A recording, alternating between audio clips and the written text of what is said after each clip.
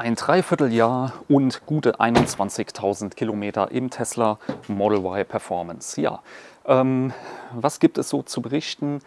Nach einem halben Jahr habe ich endlich meinen Servicetermin nach vielen Verschiebungen bekommen. Die Auslieferungsmängel wurden größtenteils behoben.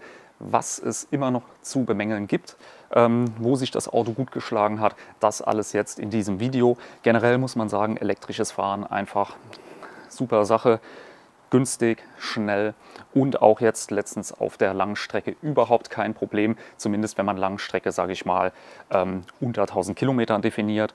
Und ja, von daher an sich tolle Sache mit dem elektrischen Fahren.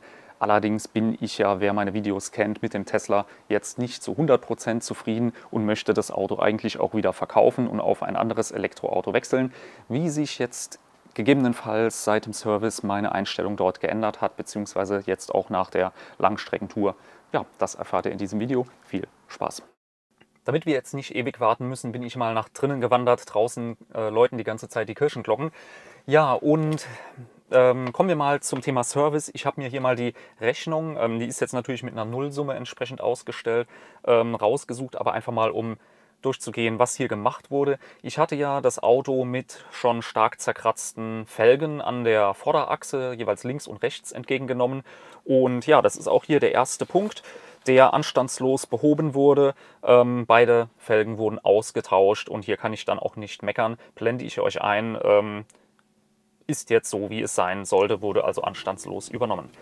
Ja, und was soll man hier sagen? Räder wurden beide ausgetauscht, also das heißt, die Felgen. Ihr seht, hier ist sogar noch der Original-Sticker drauf. Ich bin jetzt seit dem Servicetermin fast 4000 Kilometer mit dem gefahren. Den können wir jetzt auch mal hier abziehen. Und ja, bin auch schon das eine oder andere Mal damit jetzt durch die Waschstraße gefahren.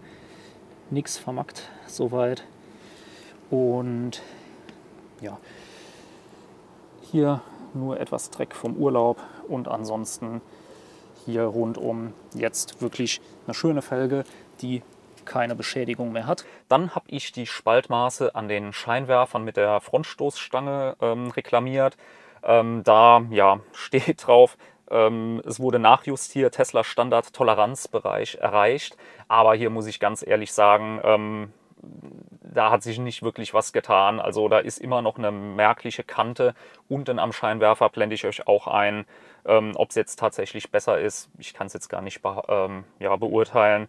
Aber ja, soll mir jetzt soweit erstmal egal sein. Die Felgen waren definitiv das schlimmere Teil. Aber naja, schön ist zumindest anders. Dann hatte ich noch eine äh, ja, Verschmutzung im Innenraum hier hinten auf der Verkleidung eines Sitzes bemängelt. Ähm, habe aber auch dazu geschrieben, dass ich nicht erwarte, dass das äh, gemacht wird. Das hatte ich nur einmal mit aufgenommen wurde trotzdem anstandslos getauscht. Von daher ähm, hier auch soweit positiv. Und dann kommt schon ein Punkt, den ich jetzt nicht nachvollziehen kann, denn hier wurde einmal, ähm, das ist auch nur auf Englisch aufgeführt, Replace AC Components and Perform Short Flush on HVAC System. Also hier wurde was an der Klimaanlage gemacht. Ähm, ich weiß nicht genau, was es damit auf sich hat, aber ich könnte mir vorstellen, dass es mit einem anderen Punkt, den ich bemängelt habe, ähm, der kommt hier weiter hinten, ähm, dass es damit zu tun hat. Denn ich hatte bemängelt, dass das Auto ähm, unangenehme elektronische Störgeräusche macht. Jetzt war es allerdings so, als ich das reklamiert habe, war es Winter und es scheint auch mit der Heizung einherzugehen. Also in dem Fall Heizung, Klimaanlage ist hier ja, sage ich mal, eine Komponente. Und von daher könnte ich mir vorstellen, dass hier schon mal ähm, vorgegriffen wurde und deswegen dieser Punkt erledigt wurde. Ähm, bei dem anderen Punkt mit den Störgeräuschen hat Tesla jetzt geschrieben, das können sie nicht nachvollziehen und das glaube ich ihnen auch, denn momentan jetzt im Sommer, also bei milden Außentemperaturen, ist dieses Geräusch nicht vorhanden. Also das tritt tatsächlich dann im Winter auf, wenn die Heizung einsetzt und ich bin mal gespannt, wenn es jetzt wieder kälter wird. Vielleicht hat das also Besserung gebracht. Ähm, kann ich jetzt soweit also noch nicht beurteilen. Denn es war wirklich ein sehr ekliges Störgeräusch, so ein ganz äh, hochfrequentes Fiepen. Und das wirklich so penetrant, dass man es selbst mit starker Lüftung und lauter Musik immer noch so ähm, im Hintergrund wahrgenommen hat. Und das wäre natürlich gut, wenn das damit jetzt erledigt wäre. Ich habe von anderen Usern gelesen, ähm, dort wurde scheinbar was an der Klimaanlage gemacht, um dieses Geräusch zu beheben. Also bin ich jetzt mal gespannt. Ja, ansonsten habe ich natürlich bemängelt, dass mein Auto entsprechend nicht wie damals bestellt mit Ultraschallsensoren ausgeliefert wurde, sondern ähm, ja, keine funktionierende Einparkhilfe hat. Tesla verweist hier ja immer einfach nur auf das Vision-Only-System, wobei das halt einfach keine ähm, ja, richtige Funktionalität bietet und schon gar keine Verbesserung im Vergleich zu Parksensoren. Ja, hier wird immer wieder nur auf den äh, FAQ-Artikel verwiesen. Naja, ähm, gut, werde ich auf jeden Fall nochmal für eine zweite Besserung reklamieren, denn ähm, auf diesem Mangel sitzen bleiben, ähm, das sollte sich natürlich keiner gefallen lassen und ähm, Tesla hier, sage ich mal, zu vertrauen, dass in ein paar Jahren dann wirklich die Software so weit ist, dass das System ähm, gut oder besser funktioniert wie Parksensoren, schwierig. Gut, ähm, dass dort aber nichts behoben wird, das war eigentlich so gut wie klar, aber das ist hier dann nur, um es zu dokumentieren, dass das schon bemängelt wurde. Dann haben wir noch einen Punkt und zwar die Ladeklappe hat bei meiner Auslieferung deutlich abgestanden. Blende ich euch auch nochmal ein und hier wurde auch dann ähm, die, äh, der Charge Port Door Remove and Replace, also das Teil wurde komplett äh, ausgetauscht scheinbar und die schließt jetzt auch sauber ab. Kann ich euch auch gleich zeigen. Also das wurde dann anstandslos erledigt. Ja, und soweit muss ich sagen, die Mängel, wo ich jetzt erwartet habe, dass sie äh, behoben werden, wurden tatsächlich auch anstandslos behoben. Und ja, wenn das jetzt von Anfang an direkt so gewesen wäre, muss ich sagen, wäre ich deutlich zufriedener mit diesem Auto, denn das Problem ist einfach, ähm, ja, der allermeiste Stress ist einfach dadurch entstanden, dass Tesla wirklich so extrem lange gebraucht hat, um diesen Servicetermin dann ähm, ja, durchzuführen. Wenn ihr meine vorherigen Videos gesehen habt, wisst ihr vielleicht, also ich hatte wirklich jetzt über ein halbes Jahr auf diesen Servicetermin gewartet und das kam immer dann durch immer weitere Verschiebungen. Ähm, Erst wurden die Felgen scheinbar nicht bestellt, dann hieß es, gut, jetzt ist nur die eine Felge da und irgendwann war es dann so weit, dass man gesagt hat, okay, weil ich habe darauf bestanden, nur einen einzigen Servicetermin zu machen, weil ich habe immer 150 Kilometer Anfahrt bis zum Service Center und zurück. Ähm, ja, und das war schon sehr ärgerlich und die Kommunikation war da wirklich ein Horror. Und jetzt ganz zum Schluss, wo ich dann auch wirklich etwas unfreundlicher ähm, dann in der Kommunikation läuft ja alles über die App äh, geworden bin. Dann kam irgendwann mal ein Anruf ähm, von Tesla, war eine nette Frau dann am Telefon, die dann auch wirklich mal in einem angemessenen Tonfall mit mir den Servicetermin abgestimmt hat. Und ich sag mal, ab dann hat es jetzt auch funktioniert.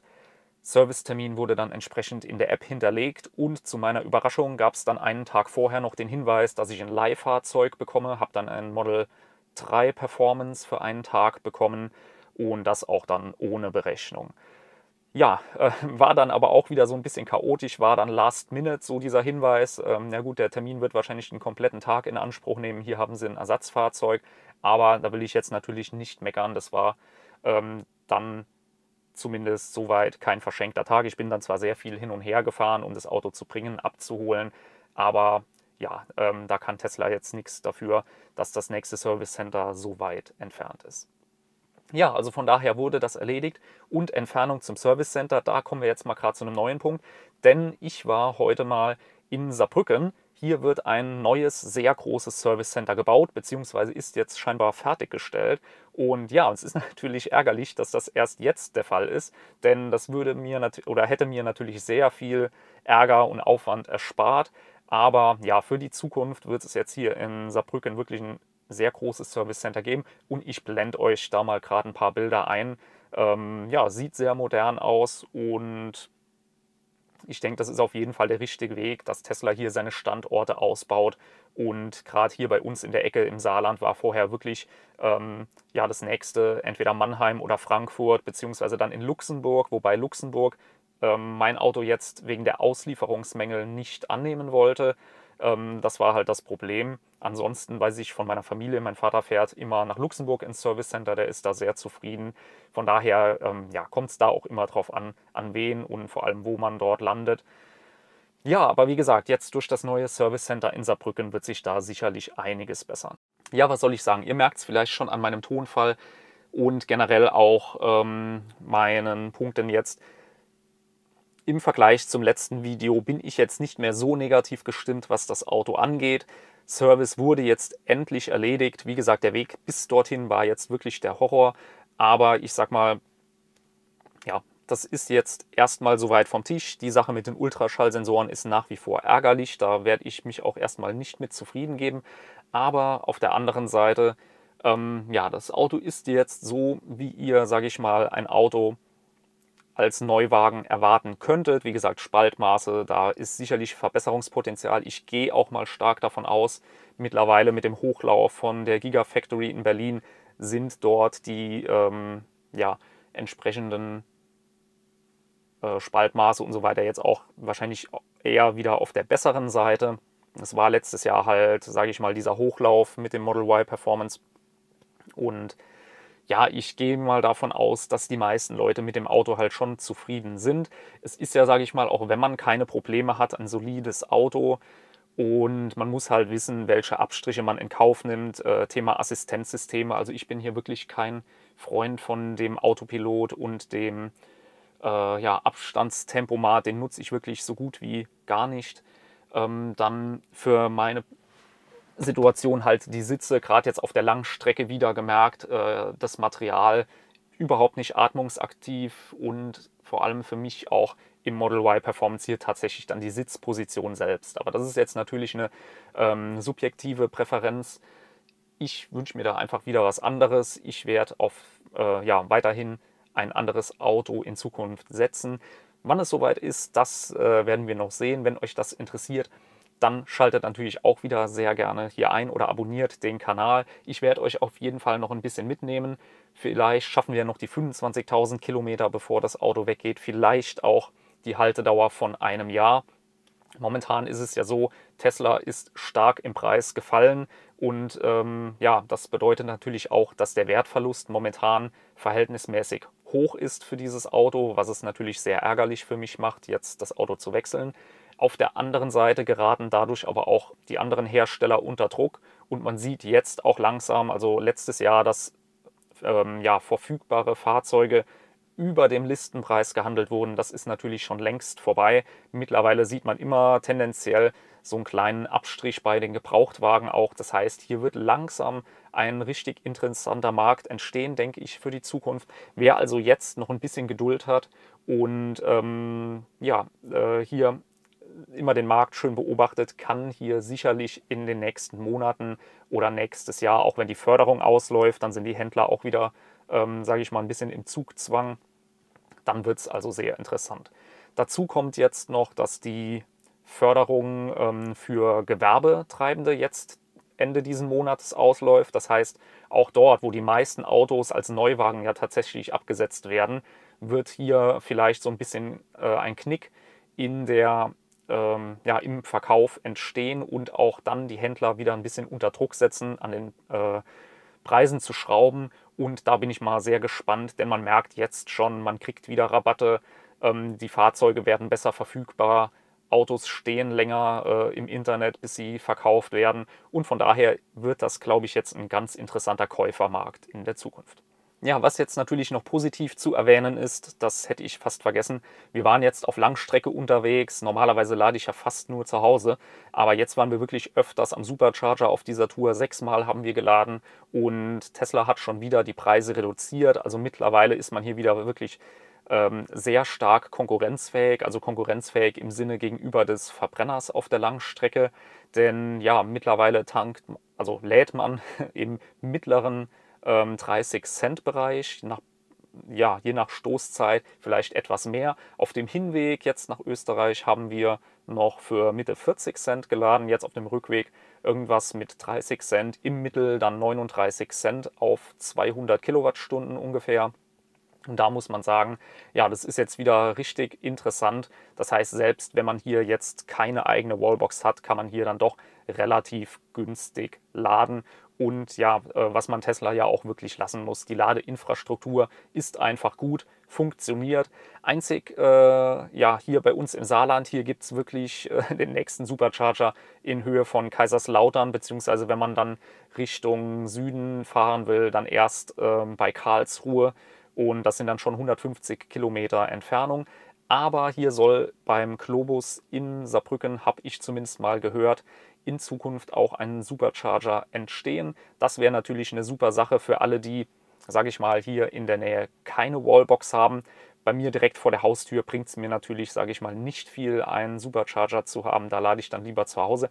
Aber es trägt natürlich stark dazu bei, dass auch hier die Region dann, sage ich mal, besser zu erreichen ist, beziehungsweise dann als Durchgang ähm, ja, mit dem Elektroauto ähm, etwas unkritischer ist, denn momentan ist hier im Saarland wirklich ein Brachland. Ähm, das Einzige, was ich jetzt gesehen habe, ähm, Globus Baumarkt hat hier noch von den Pfalzwerken die ein oder andere Schnellladesäule mittlerweile errichtet. Die sind da scheinbar gut ähm, dabei. Also von daher Daumen hoch, hier tut sich was.